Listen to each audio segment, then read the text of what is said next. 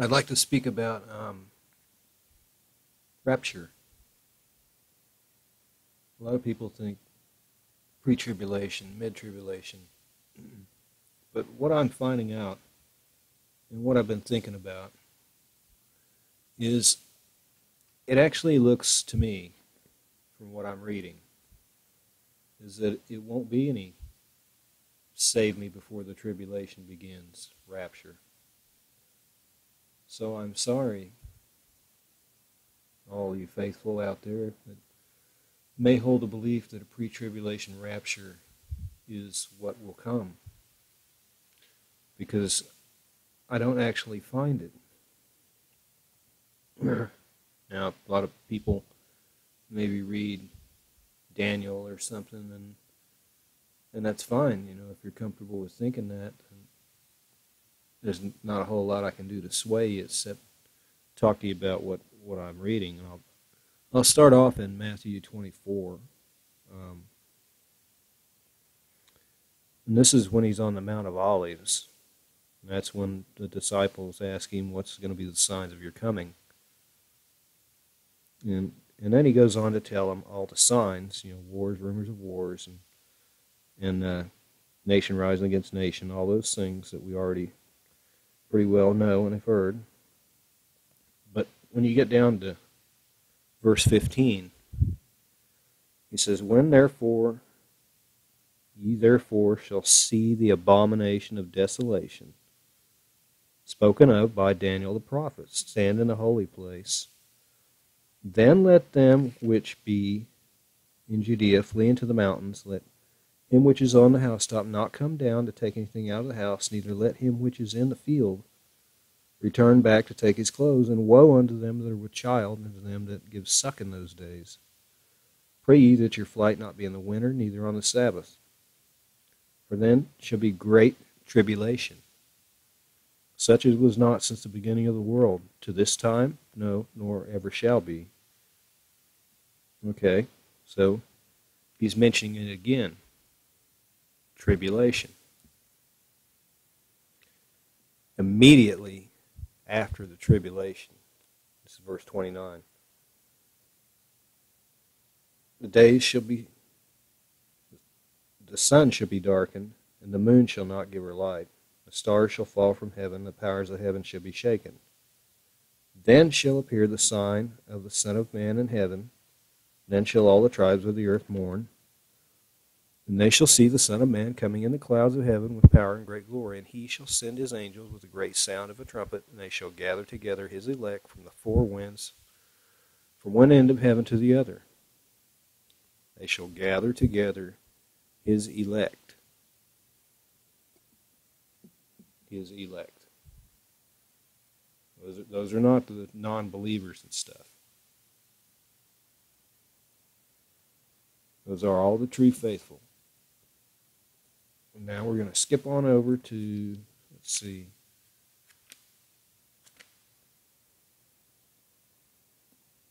we're going to go on over to John 5, verse what? 25. It says, Verily, verily, I say unto you, the hour is coming, and now is, when the dead shall hear the voice of the Son of God and they that hear shall live.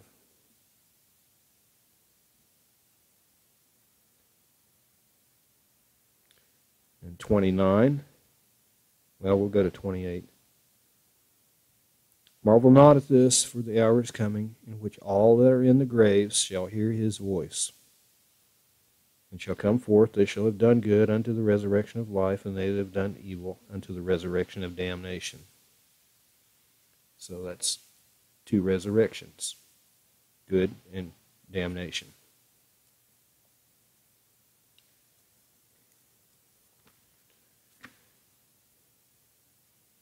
Let's see. We're going to go on over to Acts 24. Well, we'll start with, we'll go ahead and uh, go down to verse 15 in Acts 24. And have hope towards God, which they themselves also allow, that there shall be a resurrection of the dead, both of the just and the unjust.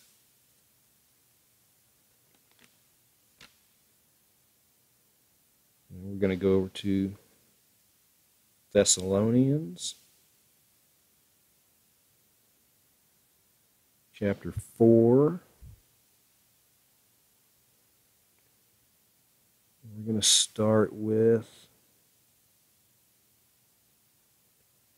13, verse 13. But I would not have you to be ignorant, brethren, concerning them which are asleep, that ye sorrow not, even as others which have no hope. For if we believe that Jesus died and rose again, even so, them also which sleep in Jesus will God bring with him. For this we say unto you by the word of the Lord, that we which are alive and remain unto the coming of the Lord shall not prevent them which are asleep. For the Lord himself shall descend from heaven with a shout, with the voice of the archangel, with the trump of God, and the dead in Christ shall rise first. The dead people that are faithful in Christ are going to rise first.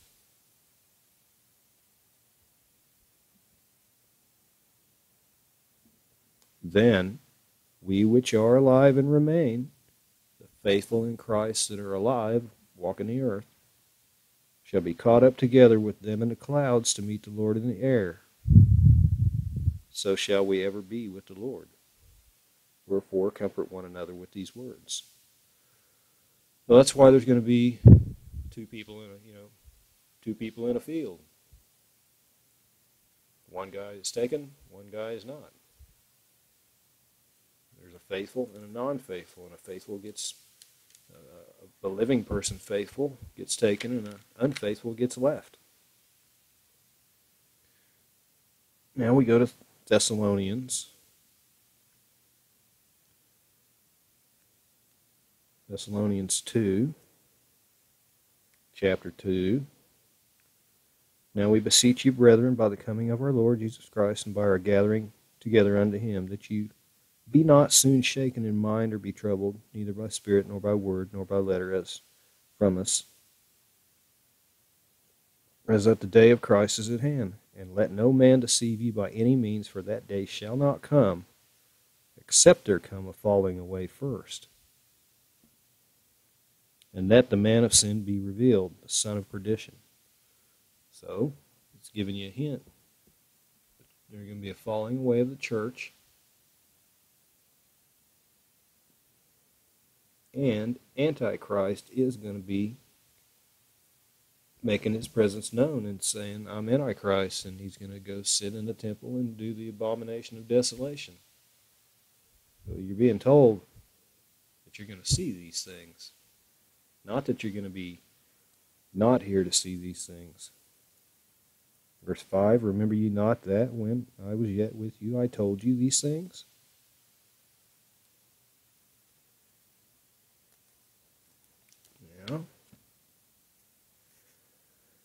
We're going to go over to Revelation 20, verse 4.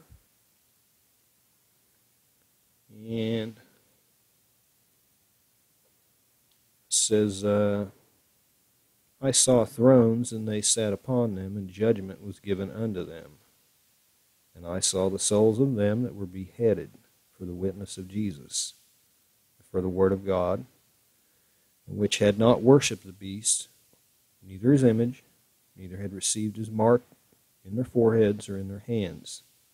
And they lived and reigned with Christ a thousand years. So there's going to be people that don't get taken in the first resurrection of the faithful, but they still have a chance to go to heaven. Because if they if they stop their ways, evil ways, and they turn away from them, and they become faithful during that tribulation time, during Antichrist time, during abomination of desolation time, if they survive through it, then they can go to heaven. and be rewarded. Also, those that don't survive, that become faithful and are beheaded, that's who they're talking about.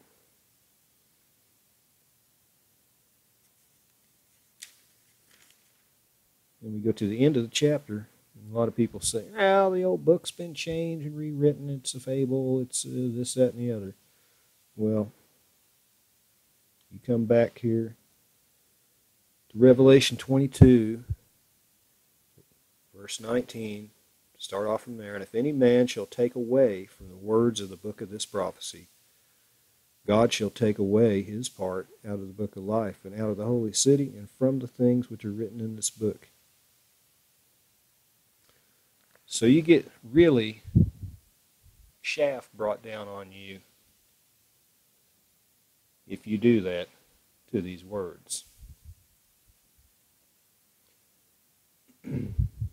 so I'm saying that what I'm getting out of what i am reading and what I'm seeing this these things saying, there's a constant uh, reminder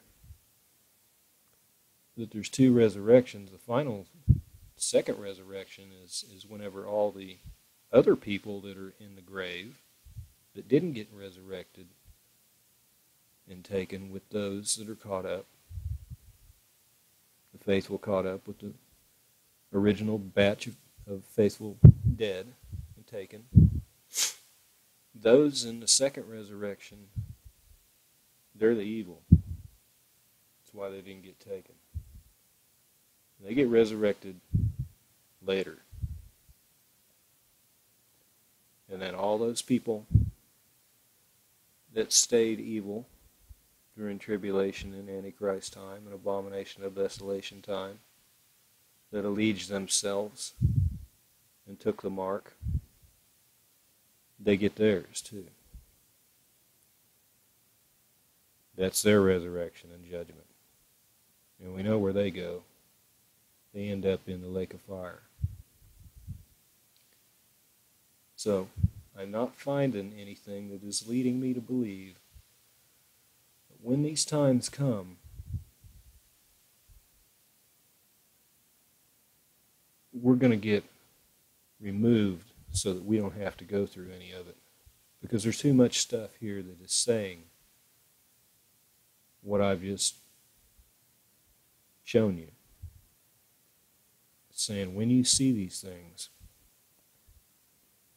So if you're going to see these things, you're still here.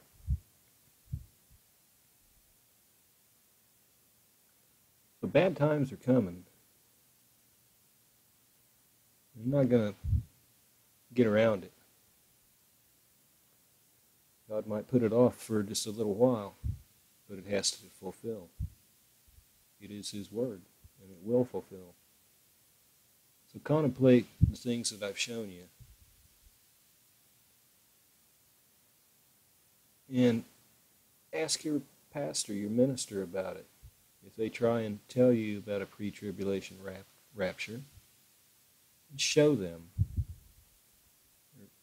what I've talked to you about in the different chapters that I've, I've mentioned. Ask them to prove it to you.